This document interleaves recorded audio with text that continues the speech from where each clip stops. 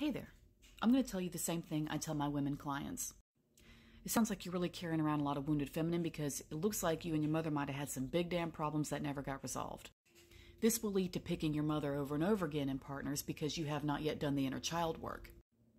So if you would like to step into your ultimate goddess era, releasing wounded feminine is definitely the way to go.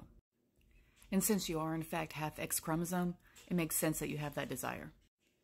Once you sit down and do the inner child work, you will see that you don't just attract these people and look for them, you settle for them. Because your inner child thinks it's normal. So once you release your wounded feminine, you can stop hating women and stop settling for bullshit and therefore giving yourself an excuse to complain about narcissists, which you have never seen. A real and true narcissist is not an everyday occurrence, and people really throw that word around when they don't know what they're talking about. So, my suggestion in your particular case with this extreme level is to just get a goddamn therapist.